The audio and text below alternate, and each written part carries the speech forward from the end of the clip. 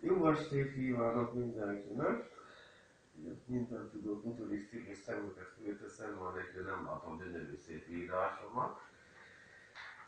Mert a mai egy különleges monológ lesz a részemről, egy rajongói képzésnek teszek eleget, egészen pontosan ismerősömnek, és még egy másik témában is fogok beszélni, de próbálom röviden, mert hogyha én ö, az egyikről részletesen beszélnék, mesélnék, akkor reggelig vagy pedig egy évig itt ülnénk. És sem én, sem a kameramanon nem írunk rá se reggelig, se egy évig. Tehát, kérem szépen, ilyen kérdéseket kaptam, hogy miért késett ennyit a Half-Life Free, Half-Life 3. Még mindig tesztelik a virtual reality sisakot, erről pont a napokban is láttam egy hírt, azaz ez a legújabb hír a játékot illetően, hogy a kukkerolós sisakot, hogy minél realisztikusan legyen a játék, azt még tesztelik, ezzel félig, ez a bizonyos értelemben így a véletlennek köszönhetően, e, tulajdonképpen a, a videóban, most halljátok is, hogy a legújabb hír hogy még folyik a VR sisak tesztelése. Egy kérdés most átugrok, de majd visszatérek rá. Jöjjön a következő. Igen. Milyen le- lesz valószínű a Half-Life 3-ban Gordon Freeman öltözéke? Ö, mivel nem hinném, hogy külső nézetes játék lesz belőle, tehát DPS, szerintem annyira lényegtelen milyen öltözék lesz rajta. Szerintem ugyanúgy rajta lesz a lambda jele, a görögnek a végtelen betűje, pontosabban a kezdetét, ami védi őt a különböző környezeti hatásoktól. Ez nyilván rajta lesz a borítója a játéknak, meg esetleg átvezető videóban. E, és lé, az a következő kérdés, hogy a strideröknek milyen lesz a hangja. Hát, amikor ezt feltettem az illető, az az igazság, hogy ezekről akartam a beszélőkémet, mert őszintén szóval ennyi idő után, ö, majd hogy nem ö, 20 év után, ki a, már bocsánat, felét érdekel, hogy milyen lesz a hangjuk, de felelek neki, nem, nem mondja azt az embert, hogy nem felelek neki.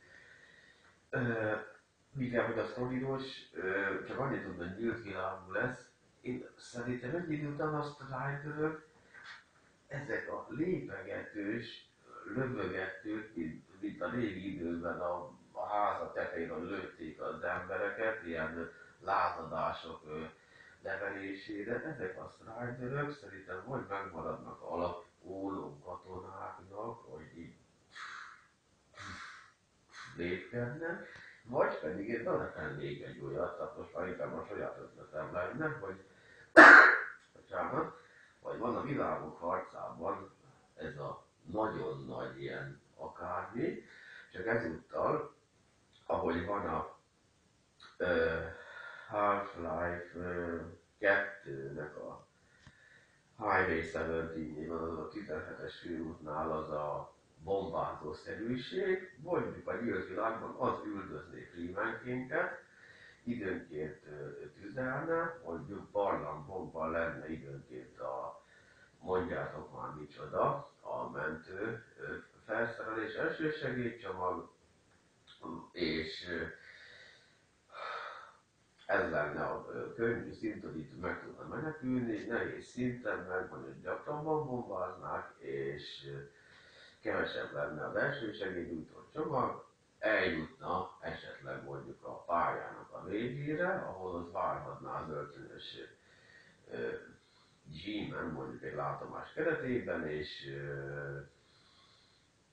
ironikusan közölné vele, hogy csak azért élte túl ezt a támadást, mert ő azt akarta, hogy túlélje. Hogy nem volt, és most visszatérek,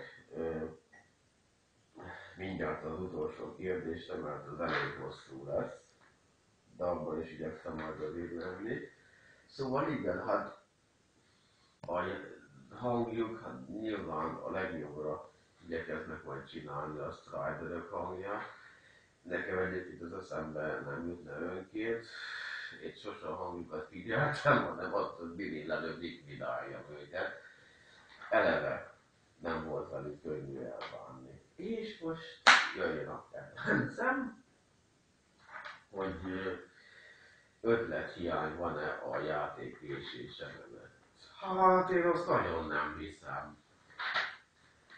Ugyanis, hát már az első 97-es darabot is eléggé ötletből követte. Nézzük például az első játéknak, a Viva Hastings, az ellenség a közelben részét, ahol megjelentek a katonák. Ezek most a kedvenceimet halljátok. Vagy a következő, a Black Spit, azaz a robbantási akna, amiről először azt hittem, hogy szennyvíz, vagy szemétlerakó, mert az, ott aztán minden volt, de a lényeg az, hogy jó volt, mert több szintes volt. Nem is részletezem tovább, és itt még, ami nekem tetszett, mert ha mindenből mindent kiragadnék, akkor egy darabig itt nem vacsoráznánk. Tehát a szer, amikor kijutunk a külső világba, az, amit még a legelső 97-es Half-Life-ban jól megoldottak, és akkor jön a folytatása, mert bizony idében megjelent a folytatás, az most más kérdés, hogy előttük a Half-Life-nak megjelent kettő kiegészítője, az Opposing Force és a Blue Sheep, egyikkel se játszottam, de hallottam róluk, és valamennyit láttam, és belőlük pipa. Jól sikerültek. Nézzük a Half-Life 2-t. Nekem ott, ami kapásból tetszett, megoldásként, ha már az ötlet kérdésnél tartunk, a Motor Hazard, azaz a ö, ö, most vagy vízveszély, vagy veszélyes vizeken megfordították magyarul, mind a kettő jó, szerintem a veszélyes vizeken az jobban megállja a helyén esetben. Na, valami olyasmit képzelek el például a harmadikban is, hogy hasonlóan törnek Freemanünk életére.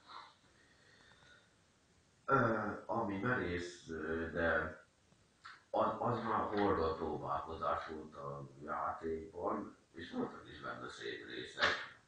We don't go to form. Gondolom ismerős a régi motorosoknak. A régen valami rész lett volna a negyedik epizód, de sajnos törölték. Ezután jött a 17-es főút, na, ott én egy valamit próbáltam volna ki. Ez eszembe feljutott volna, hogy esetleg kipróbáljátok, hogy lembortak a híd tetejéről. Nekem ma igen. De tényleg, annyira szép volt a kilátás, meg az egész megoldás, hogy én, hogyha megint nekivágok, én bizony kivalamit, csak hát nyilván szétlacsálok, hogy izé beleérkezem ott a folyóba. Amit én még kiemeltem, hogy tetszett a megvalósítás, az a, nagyon a végén van, az a Benefactors, azaz a jó tevői. És itt most hiába ö, akartam az ismereteimet frissíteni az epizód van illetően, se azt, se az epizód túlnak a pályáit ö, nem tették fel a netre, úgyhogy az epizód vanból egyedül is csak arra emlékszem, hogy uh, Love Life. Ismerős nektek az a pálya, amikor nem láttok semmit, és az energiátokat vagy futásra használjátok, vagy a zseblámpára? Szerintem igen. Mert amikor már minden nem átjutok, akkor is a, a listbe, hogyha az ember már egyszer bejutott a társunkkal, akkor azok még ugyanúgy ott vannak, a mindenféle ö, zombik, és utána tudjátok, hogyha jön a kórház, és ö, ha az is megvan, akkor ö, kijutunk már a felszínre. Az epizód túlnál ebből sajnos már semmi nem emlékszem, amit neveket illetően, úgyhogy szarva voltam ma. Igen, tehát azt vagy kiátszom újra, frissítve az ismereteimet, vagy pedig uh, Hello-ban. Ott, ott egyszerűen semmit nem találtam. Tehát igen, ötlet, pipa. Első mi volt az ötlet? Felkérték a Holtsáv és a Végtelen Határok íróját, hogy ír, lásson neki egy játéktörténetnek egy teljesen újfajta játékot illetően, ez meg is lett. Hát a másodikban már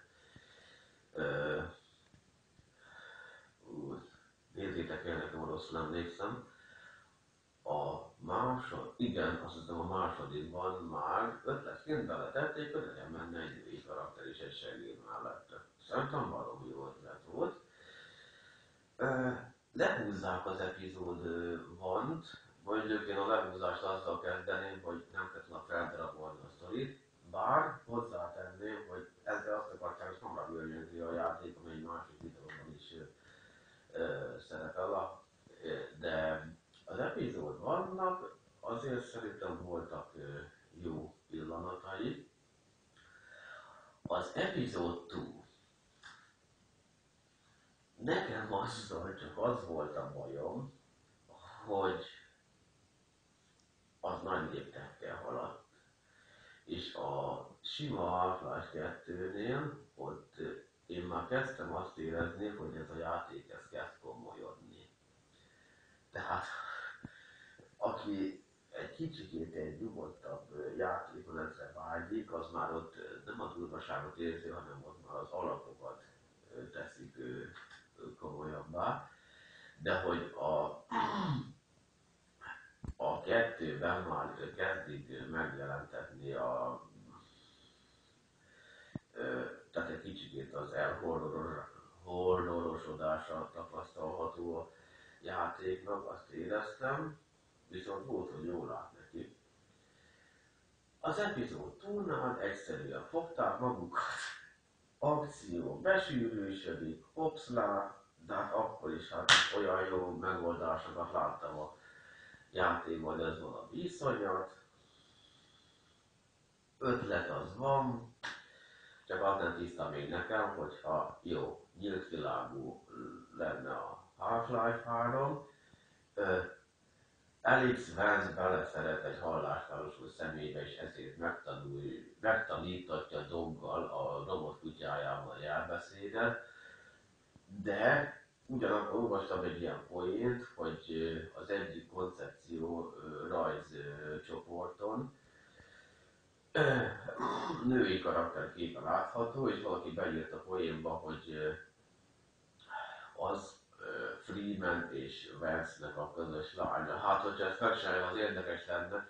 Az egyikben beleszeretett a másiktól, meg lánya van szóval, hogy is van ez. Én, én megmondom, hogy én mit csinálnék, mivel úgyis a történetre akarják helyezni majd a hangsúlyt, azt valahogy oldják meg, hogy én, én biztosan azt csinálnám, hogy legyen meg a közös lányuk, mivel úgyis ezzel be akarják fejezni ezt a részét a történetnek, hogy egy új kezdődjön. Freeman valahol essen fogságba, és a lányuk valahogy vance a történet folytatását a fejlesztők oldják meg, csak Gordon Freeman-nek utódott létrehozni nehéz lesz, de én így csinálnám. És lényegében ezzel el is voltam, hogy én hova folytatnám, de tegyük fel, ha lesz half akkor nem tudom, hogy abban konkrétan mi lesz, de még nem is szaladjunk ennyire előre. Eleve uh, Freeman úgyis nehezen akarnak majd megválni a rajongók, abban biztos vagyok. Kanadában tüntető transzparensek, meg New Yorkban uh, Half-Life 3 akarunk kamionnal, folytassa? Szerintem nem kell.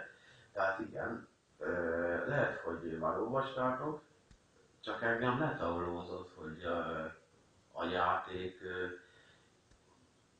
iparban terjengő plegyka, ami már három éves, hogy nem lesz prototype 3.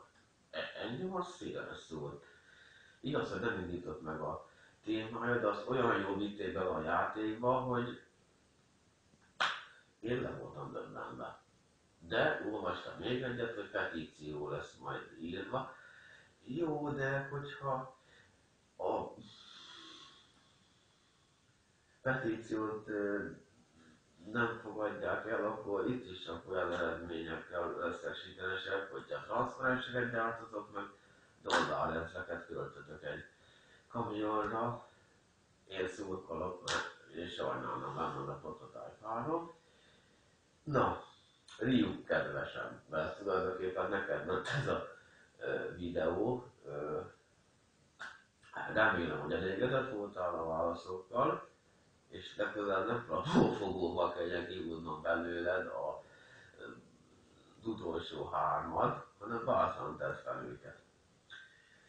Viszont azt is megértem, hogy nehéz, mert hát úgy, hogy már ennyi ideje fejlesztenek egy játékot, akkor ugyan mit tudtál volna kérdezni. Nekem az a végszavam erre, hogy én azért először kitoltam volna a Left 4 Dead 3-at, és le, ö, nem, bocsánat, először kitoltam volna a Half-Life 3-at, és utána fogtam volna bele a Left 4 Dead 3 fejlesztés, meg a Massive Effect, hogy ez így le legyen tudva, mert már úgy tolódik, hogy a e, fejlesztő csapat már nem tud mit kitalálni, és félnek attól, hogy a rajongóknak e, csalódást okoz.